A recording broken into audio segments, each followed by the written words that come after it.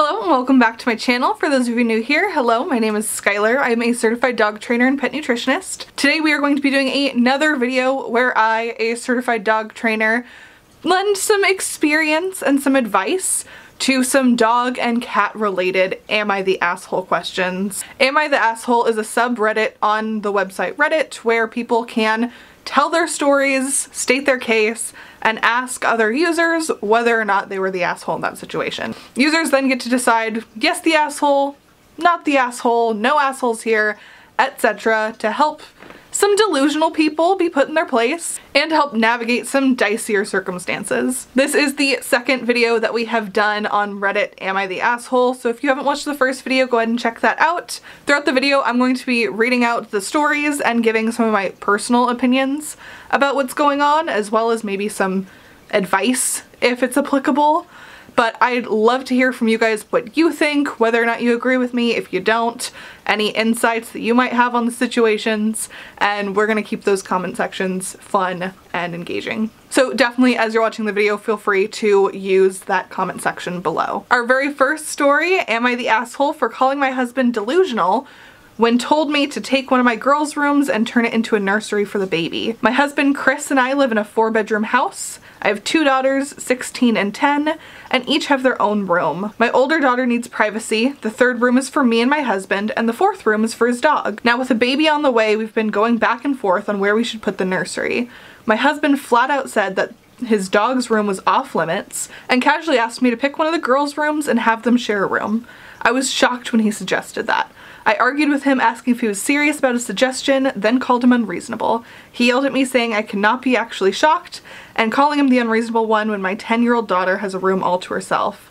I flipped and called him delusional and had a big argument and then stopped talking to each other. He's pissed, saying I clearly think so little of his dog to be so willing to kick him out of his room, then reminded me of whose house this is, which I thought was uncalled for, and unfair since I've been paying more towards the mortgage and all that.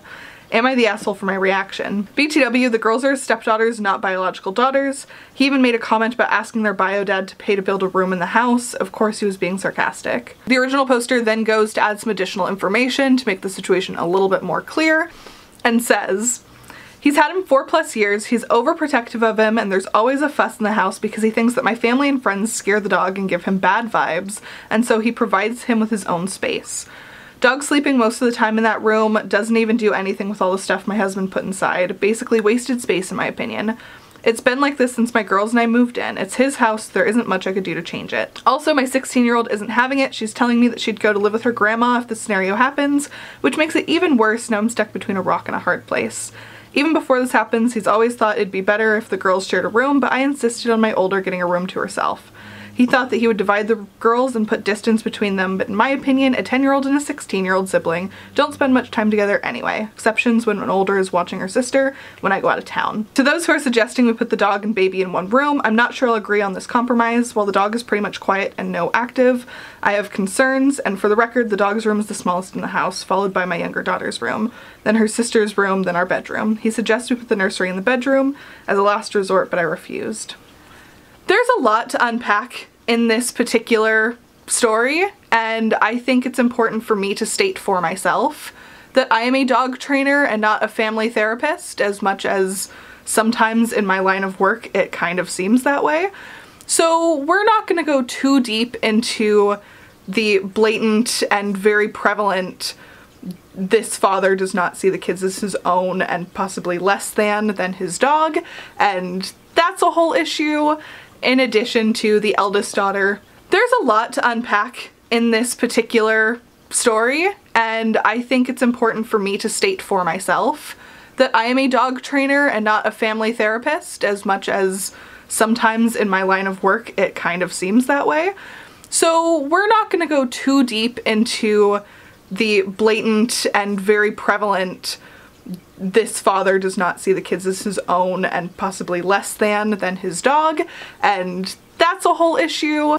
In addition to the eldest daughter thinking that you know moving out of the house completely and separating herself from this family if the dog were given a room over anyone else like that all applies that this is probably an ongoing thing with a lot of more complex history to it.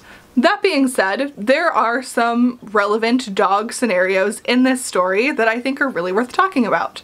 First of which, should your dog be given a room of their own in the house? Is that normal? Is that you know, something that should be recommended or alternatively should that be condemned?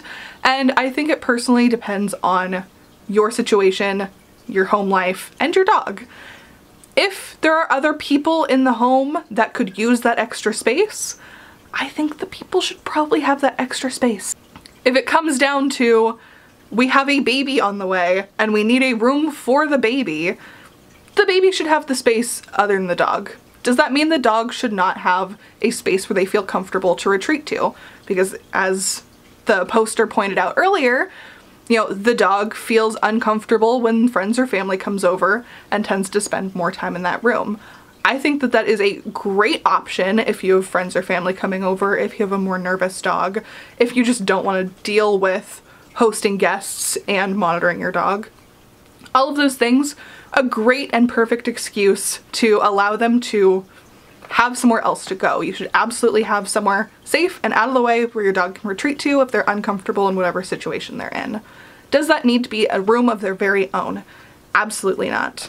In this scenario, you know, if you have the four bedroom house and you have kids in three of the four, you know, having a dog bed or a crate or a kennel in your bedroom instead of the baby being in your room having it in your bedroom would be a great option to give the dog time to go decompress, hang out away from people.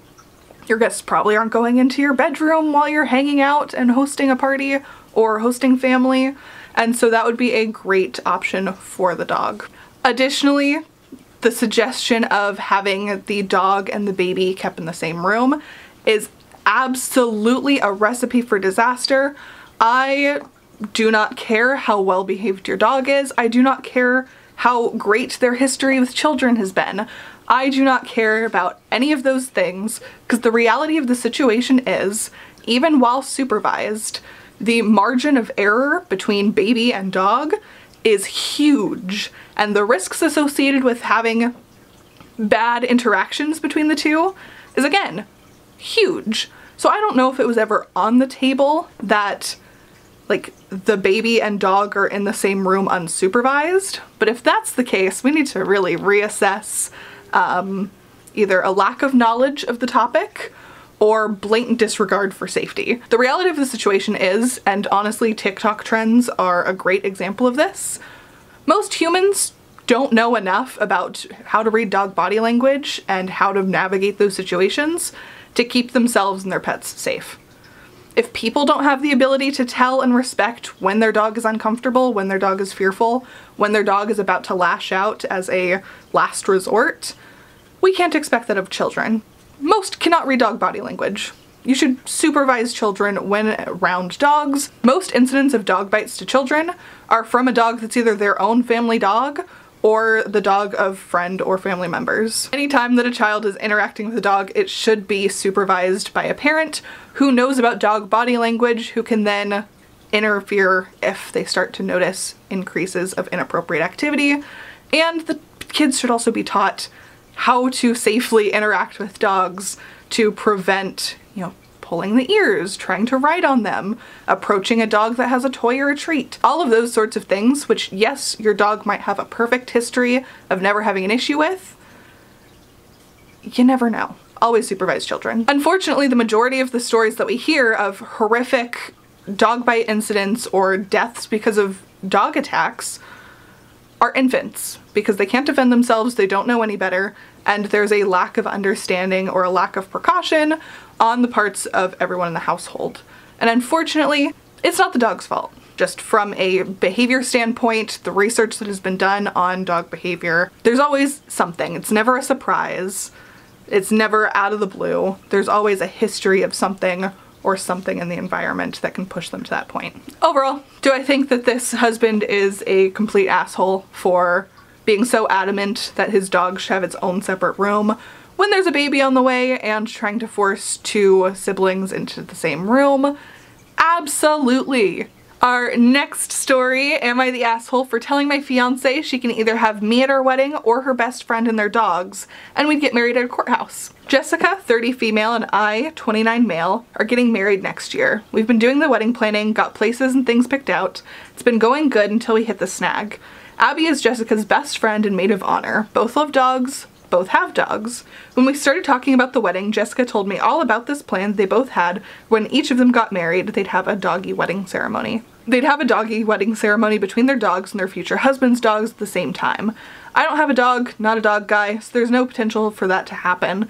I like her dog enough and let her do what she will with him, but I do give, him, get him treats and toys sometimes. I thought that would be the last I heard of that. She and Abby started to talk about how cute it would be to include both their dogs in our wedding party. Not my thing, but I have friends and family that have done something similar, and I want her to enjoy the day, so I said okay, thinking that they'd just be up at the altar or something like that. Nope, they want their dogs to get married during our wedding. I wasn't too keen on the idea and raised concerns like what would they do with both dogs the rest of the day? What if the venue we picked didn't allow pets? We went back and forth and I agreed that we could do their dog ceremony at the end of our ceremony. A couple weeks later, Jessica and Abby bring it up again. They want parts of the reception to be dedicated to their dog's friendship. Shit like puppy picture slideshow, a cake for them, dog-friendly favor bags because they want their friends and family to bring their dogs too. I told them no and that I already made one compromise on the issue and didn't want a bunch of dogs around for our entire wedding and reception, and that if they did that, we'd have to find an all-new venue probably. I reminded her that we were near the limit of what she could contribute towards our wedding funds and I'd be paying the rest and I don't want to pay extra for stuff for a bunch of dogs. They both said that this was really important to them, so I told Jessica point blank, we can stick to what we originally agreed to or she and Abby could have their costly party that allows dogs by themselves and we'd get married at the courthouse by ourselves. Abby told Jessica I was being manipulative and making ultimatums and wanted her to go stay at her place until OP pulls his head out of his ass. Jessica didn't go and we're still going back and forth. She still wants things her way and feels I'm being too selfish. I don't think I am because I want an enjoyable wedding and marriage with Jessica, not Jessica and Abby and their pets. Am I the asshole? So first of all, personally, um, I think that would have been a deal breaker about five steps ago where the dogs got married, period. Um, the suggestion of I want my dog to marry your dog at the altar at our wedding would have been a red flag for me personally. If that sounds cute to you, absolutely do your thing as long as you and your partner are on the same page. Have so much fun, send me pictures. Now, I think we can all safely say that the requests of the fiance and her friend are extreme. Um, she wants the friend and the fiance's dog to get married at the altar during their wedding ceremony after their so ceremony's already happened. So like you may kiss your partner and then please hold for a second while we begin the ceremony for the dogs. And then to have a whole portion of your reception dedicated to the dogs, dog cake. Uh, have guests bring their dogs all of those things, again, if you and your partner are on the same page with that, awesome. However, sounds like this guy is definitely not a fan of this idea whatsoever. I am going to take this as an opportunity to talk about dogs at weddings though, because I think that that's coming into popularity and I have some opinions about the logistics of it. I am a dog trainer. I am a pet nutritionist. I have been working in the pet industry for like five, six years at this point. I have been working around dogs for the past decade. I love dogs. I love my dogs. However, I personally have had a lot of mixed feelings about this whole dogs at weddings scenario. And a big part of it is the logistics of it. Me personally, I, when I have my dogs around me, am focused on my dogs. If we go visit someone's house, I'm not able to fully enjoy the company of that other person because I am monitoring my dogs. I'm monitoring their dogs if they have dogs. I am watching the situation to see if there's any intervention that needs to be made, if there's any management that needs to be put in place. I don't know if that's just a me knowing too much about things that could go wrong or just, I'm pretty sure just a personality thing um, on my part of just, I want to be aware of what's going on and in control of the situation. So I personally don't think that when I get married, there's going to be any dogs involved. If anything, and I've seen a couple trainers that do this service, having them for the ceremony, if you really want like a dog ring bear, a dog flower dog, whatever, having another trainer on hand and not just a family member, like that's cool, but like hire a professional would be ideal to manage the dog, to take the dog away. Maybe it's like a training and then dog sitting service where they come, they stay for the ceremony, monitor the dog so that way none of your guests are burdened with it, none of your wedding parties burdened with it, you're not burdened with it. You have a professional, just like your photographer, just like your wedding planner, there to handle the dog. Once the ceremony's done, once pictures are done, etc., once you've done what you need to do with your dog, they just leave and maybe watch your dog for you until the next morning when you pick them up or you have a deal where they keep them for the honeymoon, whatever. That would be the perfect ideal scenario where I personally would feel comfortable having a dog at my wedding. Those are my personal feelings about the situation.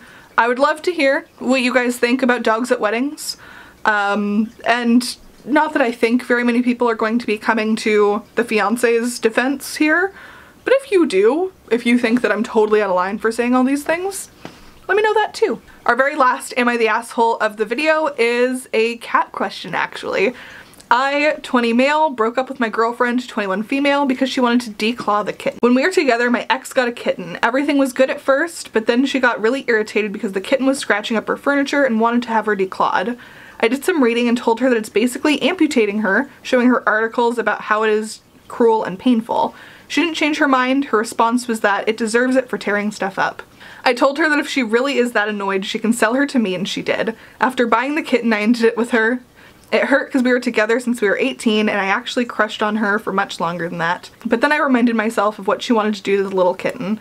Even now, I couldn't fully grasp how someone I really loved wanted to do anything like that, but I'm relieved I managed to prevent it from happening. Now I'll admit, this one's less of an am I the asshole situation, but we're gonna throw it in the video anyway because I think that it's a good thing to talk about. So let's phrase it as this. Was this guy in the wrong or overreacting for breaking up with his girlfriend because she wanted to declaw the kitten? When it comes to any kind of thing with your pets, I personally recommend doing research from credible sources. Talking to your vet, talking to the breeder if you got your cat from a breeder, um, going online and again looking at credible sources. There's a lot of misinformation in the pet world because quite frankly the majority of it is just uh, the wild west.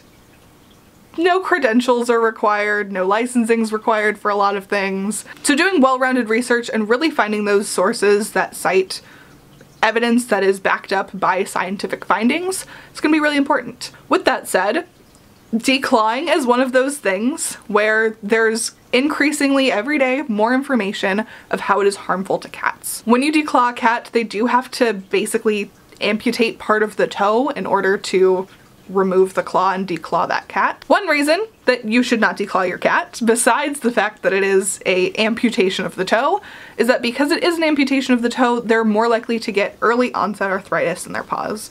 And most cats eventually, if they get old enough, are going to develop some arthritis in their paws, which is not great, not very comfortable, a little painful, and can drastically change their behavior as they age.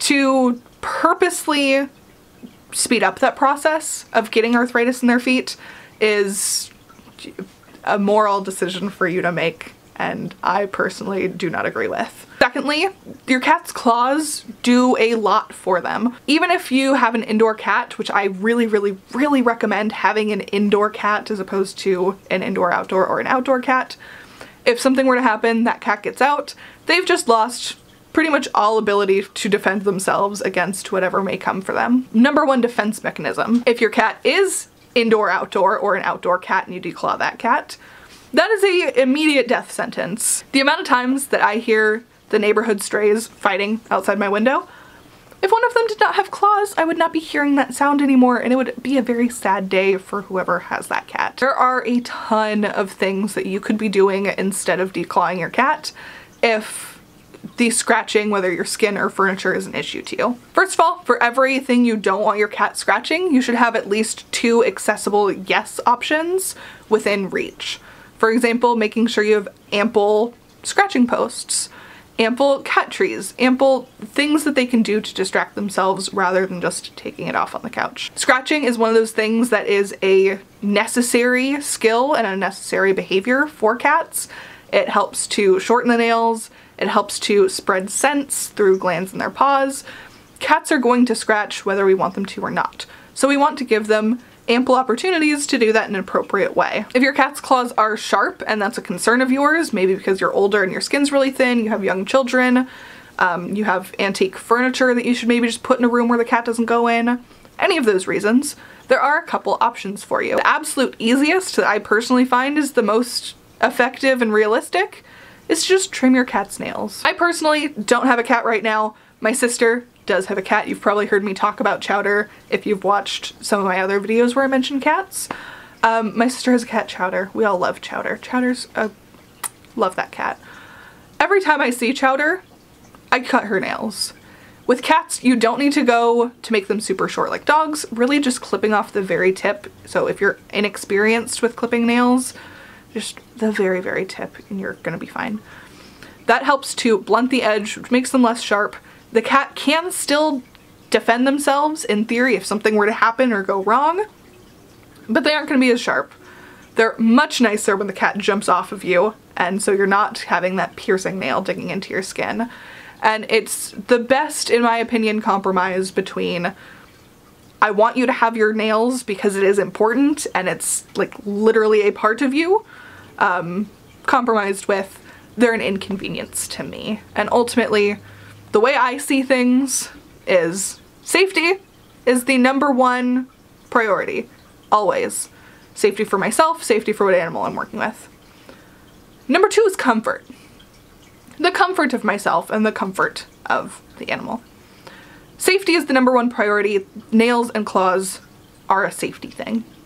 At the end of the day, they are safety. If they're an inconvenience to you, maybe you shouldn't have a cat.